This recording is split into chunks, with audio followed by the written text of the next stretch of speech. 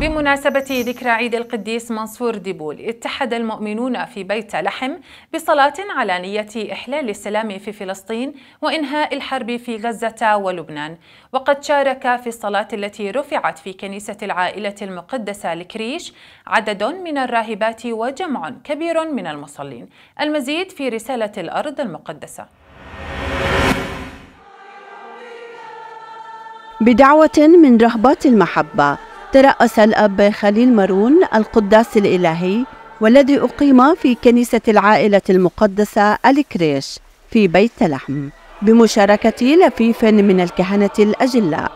وذلك بمناسبة عيد القديس منصور ديبول شفيع الفقراء. وقد حضر القداس عدد كبير من الراهبات والعاملين بمؤسسة الكريش التي تعنى بالأطفال الذين حرموا من نعمة الأبوة. وبمشاركة بعض أطفال المؤسسة الذين قدموا التقادم للهيكل. كما حضر القداس أيضا عدد كبير من المؤمنين من أبناء المنطقة الذين اتحدوا بالصلاة التي قدمت على نية إحلال السلام وإنهاء الحرب والفقر. كما قدمت الصلاة من أجل المشردين والمحتاجين والمساكين. مار منصور دبول هو مؤسس أباء الرسالة ورهبات المحبة. هي جمعية أكيد عالمية انترناسيونال موجودة بكل العالم.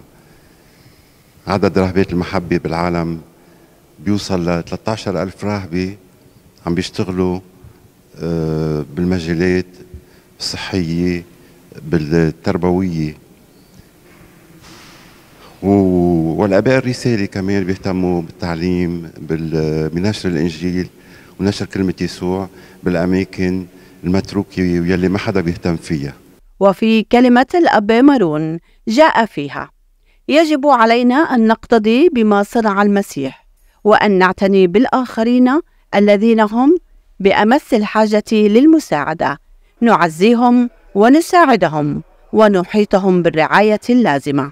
جواتي يا المانور يدعيني حب المقهور جواتي عبي المعنور يدعيني حب المقهور حارب الفقر وهالجوع.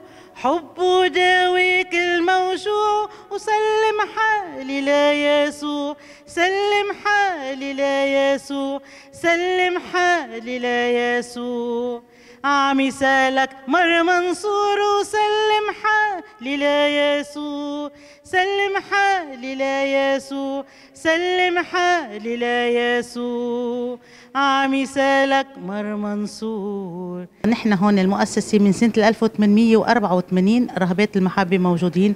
نحن مشينا على هالخطى مع أطفالنا الحلوين يلي أطفال مجهولين الأبوين يلي كل حبنا وكل عطائنا بنقدمهم للأطفال صحيح نحن بنعطي رسالتنا كثير مهمة هون ببيت لحم. في مهد المسيح وفي مهد الكراش فأنا بمزجهم مع بعضهم فهن كتير آه، بالنسبة لإلي هن حياتنا مثل ما نحن بنخدم المسيح لازم نخدم هلأ آه، كل طفل بنشوفه بنشوف يسوع آه، بغض النظر شو هن الأطفال. وفي نهاية القداس أعطيت البركة للجميع حاملين في قلوبهم سلاما ونعمة من لدن الرب. للنرسات مارلين الحدوى من كنيسة العائلة المقدسة بيت لحم.